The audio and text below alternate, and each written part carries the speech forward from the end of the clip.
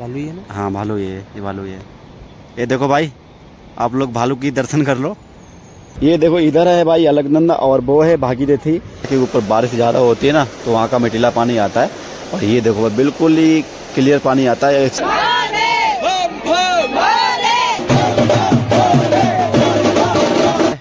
बस 12 किलोमीटर का और ट्रैक बचा है। थोड़ी सी उसके बाद में भाई खा के तब हम यहाँ से निकलेंगे। तो भाई चलो पे और सभी लोग देखो ये अभी काट के गए हैं बर्फ़। अब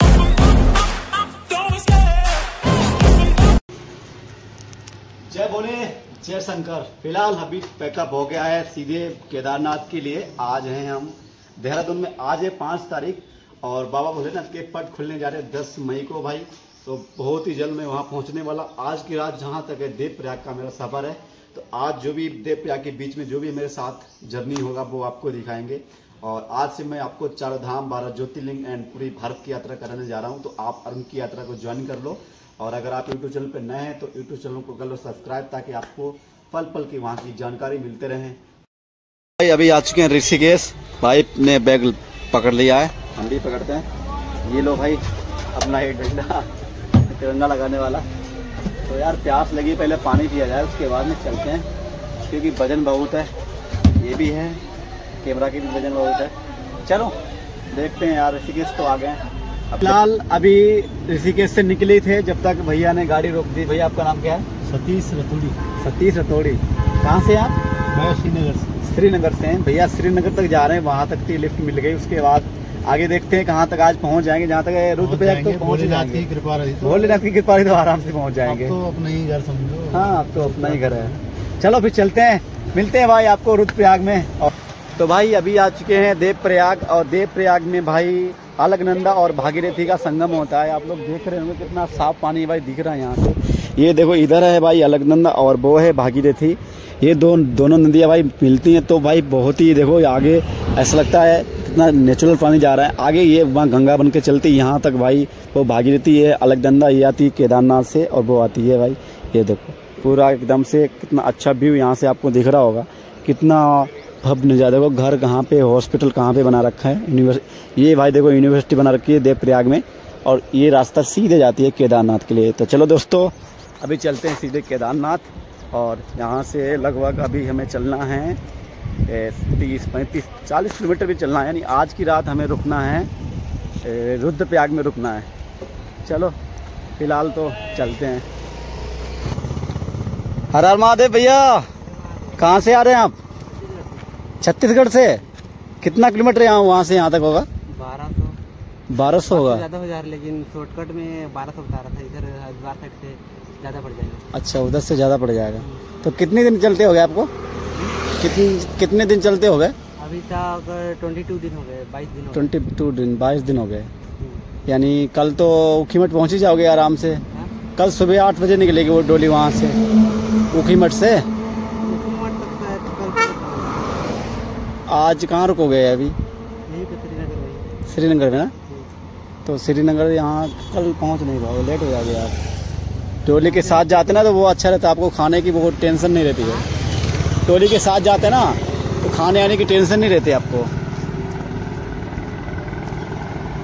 चलो हर हर महादेव जाइए आपकी यात्रा मनोकामनाएँ पूरी हो जाएँगी। ये है रुद्रप्रयाग और ये है अलकनंदा और ये है मंदाकिनी। इसका पानी है इतना क्लीन और इसका थोड़ा पानी गंदा है, क्योंकि ऊपर बारिश ज़्यादा होती है ना तो वहाँ का मिटीला पानी आता है। और ये देखो बिल्कुल ही क्लियर पानी आता है। इससे पी लो कोई टेंशन इसके आगे ना एरोफेल है। यहाँ का पानी पियोगे कभी आपको बीमारी नहीं होगी। यहाँ के लोग सभी यही से ही नदी का पानी पीते हैं। किसी की वहाँ नल नहीं लगे, सब यहीं यहीं से पानी भर के लेके जाते हैं। ऊपर है मंदिर। यहाँ पे कैंप लगाया था हम लोगों ने। ये देखो भाई, पूरा पैकअप हो गया। भाई कर रहा है अपना पैकअप। चले? चलो भाई, निकलते हैं। और यहाँ से लगभग, दूरी है लगभग चालीस से पचास किलोमीटर यहाँ से ऊखी मठ है। चलो निकलते हैं यहाँ से देरी ना करते हुए और हर हर महादेव।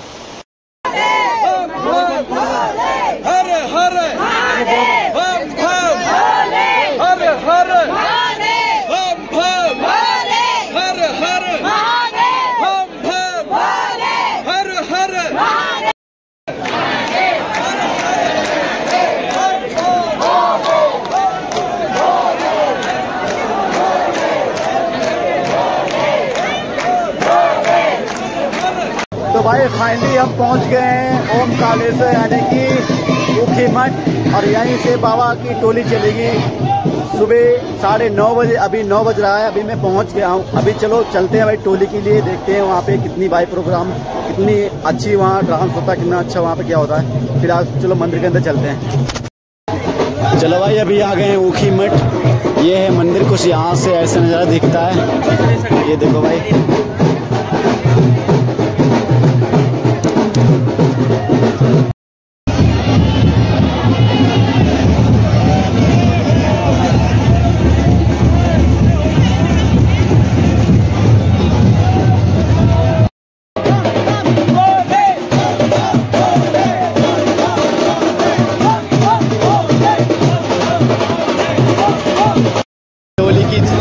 जा चुकी है। ये देखो भाई।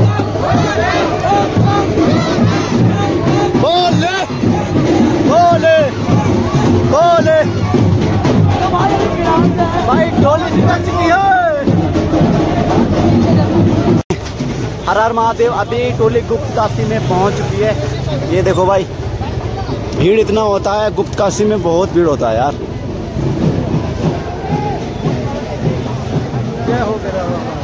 ये देखो भाई, गुप्त काशी में अभी डोली पहुँच चुकी है। हर हर महादेव। दोस्तों, अभी आ चुके हैं गौरी कुंड और बाबा भोलेनाथ की चढ़ाई कर रहे हैं। लगभग दो किलोमीटर की चढ़ाई कर ली है। इसी बीच में हमें एक भालू दिखा यहाँ। चलो, आपको दिखाते हैं। कहाँ पर है भाई? कहाँ गया? यहाँ पर था भाई दे देखो। निकालू कैमरा। यहीं पे था। अभी दिखेगा रुक तो। मैं बंद हो गया। अगर दिखेगा तो मैं आपको दिखाऊँगा। कैमरे से जूम कर गए। लेकिन अभी वो जो पेड़ है ना उनके बीचों बीच में है। इधर से देखते इधर से दिख जाए। दिख रहा है? नहीं दिख रहा? अरे भालू ही था क्या? क्या था वो? अरे भालू ही था यार। इतना सा? हाँ। इतना भालू ही था। दूर से दूर से था इसलिए ना। अरे नहीं भालू ही था यार। तो गाइज़ यहाँ पे था भालू। हमें लगता वो है यार। वो हिल तो रहा है देख कुछ। पेड़ हिल रहा है पेड़ देख पेड़ के पीछे देख पेड़ यार ये सारा दिख नहीं रहा है मेन चीज़ ये है। अरे अभी दिख रहा था वो हैं? दिख गया? यार हमें लगता है वहाँ पे वो का अलग अलग दिख रहा है तुम्हें? वो था वो देख वो देख। हाँ? वो चल रहा चल रहा देख देख देख उस पेड़ के नीचे पेड़ के नीचे देख जल्दी से देख। ये ये ये चुंगा चुंगा चुंगा। देख खाइस देखो खाइस जूम कर है एक एक दिखा देगा देखो। है यार यार अभी देखा था हमने। यहीं पे बैठ- खड़ा होगा जहाँ तक है। तो भाई ये है केदारनाथ की घाटी और ये देखो भाई ये है रास्ता। इधर से रास्ता जाएगा। चलो ये देखो। कितना खतरनाक भाई ये है बाबा केदारनाथ का दरबार। इधर हमें जाना पड़ेगा ये देखो। वहाँ के लिए वो रही बर्फ़। वो रहे हमारे भोले बाबा। तो गाइज़ आप लोगों को मैं दिखा रहा हूँ भालू। कहाँ वो देखो उसके पीछे। यहाँ पर कहाँ पे नहीं वो दिख रहा। दिख तो रहा है यार इसमें नहीं दिख रहा। ये पेड़ का समझ आ रहा है पेड़ का ये यहाँ पे है रुक जा ये नीचे का नीचे का नीचे अच्छा हाँ ये रहा ये रहा दोस्तों। ये देखो दोस्तों ये है भालू। भालू ही है ना? हाँ भालू ये है ये भालू ये है। ये देखो भाई आप लोग भालू की दर्शन कर लो। इतना दूर है जूम करता हूँ तो थोड़ा सा दिखता है वैसे दिखता नहीं है।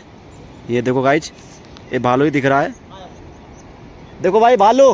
किसी का निशान है क्या बढ़िया? गाइज़ तो भालू देखने को मिल गया आप लोग देख लो। ये रहा भाई भालू। आपको काला काला दिख रहा है। तो भाई यहाँ से यहाँ से थोड़ा सा दिख रहा है क्योंकि ना दूरी बहुत है। अगर कैमरे में अच्छी जूमिंग होती तो आपको क्लियर दिखता बट हमारा एंड्रॉयड फ़ोन है तो अच्छा कैमरा नहीं है। तो आप लोग ऐसे ही देख सकते हो यहाँ से। अब तो दिख रहा है लेकिन छोटा सा दिख रहा है ये देखो भाई। ये काला काला दिख रहा है? ये भालू ही है? है? केदारनाथ की चढ़ाई चढ़ते चढ़ते अभी आ चुके हैं। लगभग चार किलोमीटर की चढ़ाई चढ़ चुके हैं अभी। अभी तेरह चौदह किलोमीटर बचा है। ये देखो भाई यहाँ पे बोर्ड लगा हुआ है। गौरी कुंड तीन किलोमीटर। यानी कि अभी हमने तीन हर महादेव, आपको पता है कि आज मैं बाबा केदारनाथ की पैदल यात्रा कर रहा हूँ। टोटल यात्रा है 22 किलोमीटर की, जिसमें से अभी 10 किलोमीटर तक ये यात्रा कर ली है। आपको बोर्ड दिख रहा होगा यहाँ से 10.5 यानी कि 10 किलोमीटर यहाँ से दिख रहा है अभी। वैसे ज़्यादा है, ये बोर्ड ऐसी बना रखी इन्होंने, ताकि आप में मोटिवेशन आ सके। तो रास्ते में अभी तो कोई नहीं है, भैया जा रहे हैं कुछ लेके। ये देखो भाई, कितना खतरनाक रास्ता है। और भीमबली बचा है यहाँ से 500 मीटर। चलो, पैदल चलते हैं।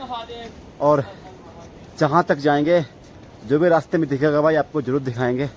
और बताया जा रहा है कि रास्ते में बर्फ़ बहुत पड़ी है। रात के लगभग साढ़े सात बज रहे हैं अभी। और बारह से एक बजे तक हम पहुँच जाएँगे ऊपर। तो अभी तो लगभग दस किलोमीटर का ही ट्रैक कर पाया है। बहुत बाकी है अभी। फ़िलहाल ये वीडियो बहुत बड़ा होने वाला है, क्योंकि बहुत लंबा वीडियो हो जाएगा। चलो, अभी चलते हैं सीधे। हर हर महादेव।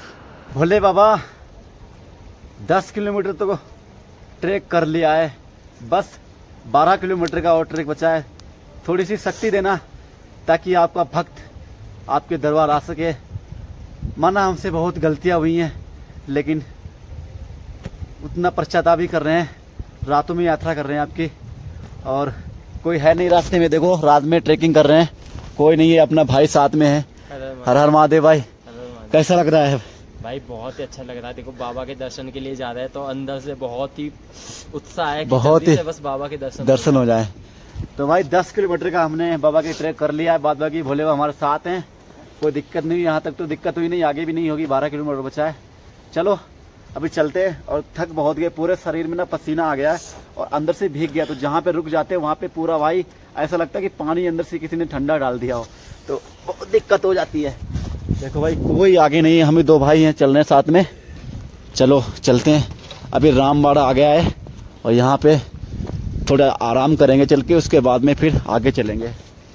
तो दोस्तों, अगर आप यूट्यूब चैनल पर नए हैं तो यूट्यूब चैनल को कर लो सब्सक्राइब, ताकि आपके पास यहाँ की पल पल की अपडेट आपके पास आती रहे।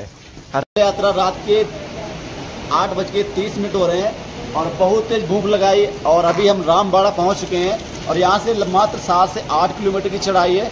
तो सोचा कुछ खा ले, पेट में अगर कुछ आ जाएगा तो ताकत भी आ जाएगी, एनर्जी आ जाएगी, फिर आराम से चढ़ेंगे। वैसे भी आज लगभग बारह से एक बजने वाला है रात में। तो ये देखो भाई, अभी हम बना रहे हैं मैगी और मैगी बना के, उसके बाद में भाई खा के तब हम यहाँ से निकलेंगे। तो भाई चलो भाई मैगी बनाते हैं खाते हैं उसके बाद में मिलते हैं। रार महादेव। भाई मैगी बन गई है और सभी लोग खाने भी लगे हैं। आओ अभी आपको दिखाता हूँ कैसे बनी है भाई। ये देखो मैगी बन गई है इसमें भाई अचार मैंने डाल दिया है तो बहुत ही टेस्टी लग रही है। भाई कैसी लगी मैगी? भाई एक नंबर क्योंकि ठंडी जगह पर मैगी मिल जाना जो भी खुद तो मैगी मैगी खाओ ना आ ये तो ये क्यों खा रहे हो? उसका जूस पी रहे हो तुम मैगी खा ही नहीं रहे हो। भाई सूप बन गया सूप बहुत टेस्टी चलो भाई खाते भी मिलते हैं भाई बाबा के दरबार में फिर चलते हैं आपको दिखाएँगे भाई बाबा की कैसी भाई आज की यात्रा है। तो भाई अभी श्री केदारनाथ सात किलोमीटर रह गया बेस कैंप रह गया पाँच पॉइंट पाँच और छानी कैंप रह गया है तीन किलोमीटर। भाई क्या बताएँ इतना थक गए हैं ना बाबा के दरबार में जाते जाते घोड़ तो बहुत दर्द कर रहे हैं लेकिन धीरे धीरे नाम लेके जा रहे हैं बाबा का हर हर महादेव और चलते जा रहे हैं। देखते हैं कितने बजे पहुँच पाएँगे। सात, लगभग सात किलोमीटर है, यानी कि दो घंटे लग जाएँगे अभी। और दस बज गया, दस ग्यारह, बारह बजे हाँ हमने सोचा था बारह, एक बजे पहुँच जाएँगे थे, एक बज जाए एक एक तो बज ही जाएगा। चलो बाद बाकी सभी को हर हर महादेव। रास्ता ऐसी है, देखो भाई, हमारे दो दोस्त आगे जा रहे हैं। बहुत ही रास्ता सुनसान पड़ी है। कोई आता नहीं है, कोई जाता नहीं है। फाइनली ट्रैक पूरा हो गया है। लगभग एक से दो किलोमीटर का ट्रैक बचा है। और उसी के बीच में हमें भोले बाबा ने कुछ फल दिखाए हैं। आप जो मेरे पीछे देख रहे हो, ये है बर्फ़। पूरा बर्फ़ का भाई यहाँ पे देखो, पहाड़ का दिख रहा है। और इसकी लंबाई है लगभग दस फीट की लंबाई है। ये काट काट के रास्ता बनाई गई है। अभी लगभग रात के बारह बज रहे हैं। और सभी लोग देखो ये अभी काट के गए हैं बर्फ़। अभी आगे लेबर जा रही है, ये देखो। यहाँ से लेके वहाँ तक पूरा भाई, हर तरह आपको बर्फ़ के अलावा कुछ नहीं मिलेगा। ये देखो, जहाँ भी जाओगे ना, बर्फ़ ही बर्फ़ मिलेगी। और यहाँ पे अब अगर आना तो सही से आना, क्योंकि यहाँ पे ना पेड़ बहुत सरकते हैं। ये देखो काट काट के रास्ता बनाई जा रही है बिल्लोजर से। ये देखो भाई, बाबा की भाई बात ही निराली है। बाबा जब, जो मन होता है ना, वो वही बात करते हैं। फ़िलहाल अभी आ चुके हैं बाबा के दरबार में, अभी जाएँगे ललित बाबा के आश्रम में, वहाँ लेटेंगे जाके। और ये देख लो, इतना यहाँ का प्यारा नज़ारा है। ये है यहाँ की बर्फ़। जब भी आओगे ना केदारनाथ में तो ये आपको ग्लेशियर ज़रूर मिलेगा। यहाँ पे काट काट के रास्ता बनाई जाएगी। ये देखो भाई, बनाई गई है। और डेली बार यहाँ पे बर्फबारी होती है, बस आज नहीं हुई है। बता रहे भैया कि यहाँ पे डेली होती है, डेली सफ़ाई होती है, लेकिन ये देखो भाई, पूरा भाई यार। भाई, जब भी आओगे तो आपको ये ग्लेशियर पक्का मिलेगा। गारंटी सुद्धा मिलेगा भाई। चलो भाई, अभी चलते आगे के लिए, बाद बाकी सभी को। हर हर महादेव।